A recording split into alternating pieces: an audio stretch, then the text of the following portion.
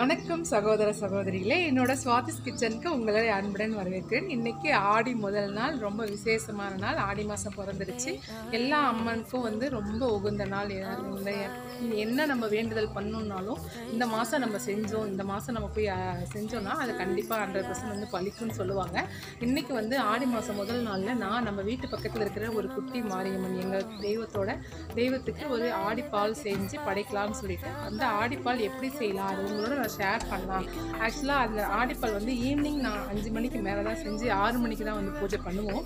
ஆனால் இன்றைக்கி உங்களோட ஷேர் பண்ணணுங்கிறதுக்காக நான் காலையிலேயே வந்து ஆடிப்பால் செஞ்சு அதை நான் வந்து கோயிலுக்கு கொடுத்து அனுப்புகிறேன் வாங்க அது எப்போ? ஆடிப்பால் ரெடி பண்ண போகிறோம் அதை நான் வந்து ஒரு டேஸ் அதாவது நான்வெஜ் செய்யாத ஒரு பாத்திரத்தில் தான் செய்யணும். புது பாத்திரத்தில் இருந்தால் புது பாத்திரம் செய்யலாம்.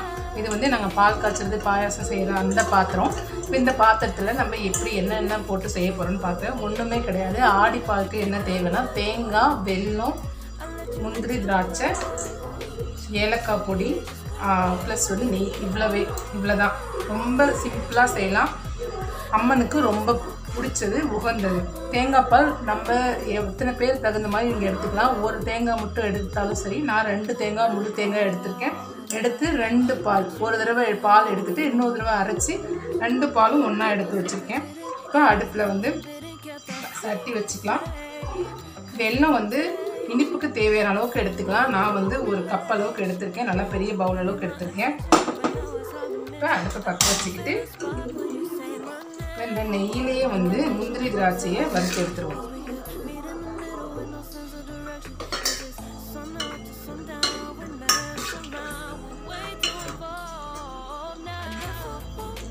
பால் வந்து கொதிக்க கொதிக்க அதாவது சூடாக இருக்கும்போது பாலை வந்து ரொம்ப சூடு பண்ணக்கூடாது.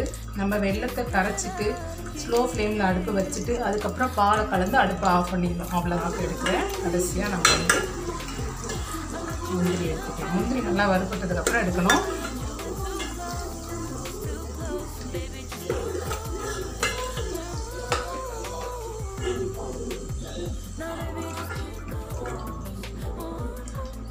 இப்போ எடுத்தாச்சு. இப்போ இந்த நெய்யில என்ன பண்ண போறோம்னா வெள்ளத்தை போட போறோம். தண்ணியெல்லாம் சேர்க்க போறதில்ல. ஆல்ரெடி தேங்காய் பால் வந்து தண்ணியாக தான் இருக்கும் இல்லையா?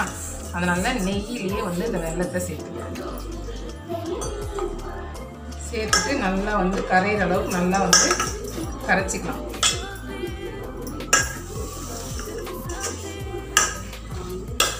இந்த பாத்திரம் ரொம்ப சுடும். பொறுமையாக செய்யணும்.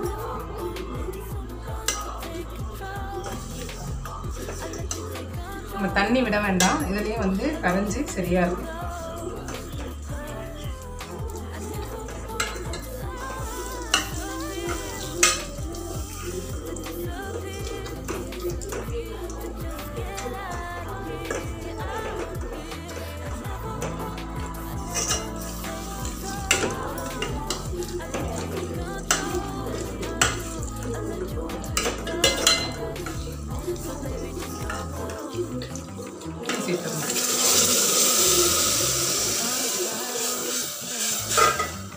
அடுப்பை ஆஃப் பண்ணிட்டு இந்த முந்திரி திராட்சையும் போட்டுக்கலாம். இந்த வெள்ளம் நல்லா கரையணும். ஏலக்காய் சேர்த்துக்கலாம்.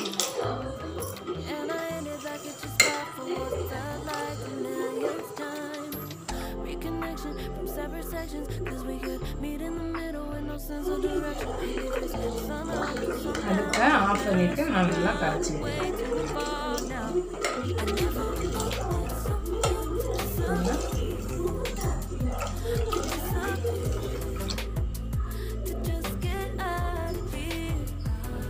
என்ன ஃப்ரெண்ட்ஸ் வீடியோ பார்த்தீங்களா? அப்படியே போல் நீங்கள் உங்கள் வீட்டில் செஞ்சு பாருங்கள் செஞ்சு பார்த்துட்டு எப்படி இருந்துச்சுன்னு கமெண்ட் பண்ணுங்கள் என்னோட சேனலை மறக்காமல் சப்ஸ்கிரைப் பண்ணுங்கள் பக்கத்தில் இருக்க பெல் கிளிக் பண்ணுங்கள் அப்போ தான் நான் போகிற வீடியோ ஒன்று பண்ணிடுவேன் அடுத்த வீடியோவில் பார்க்கலாம். Thank you bye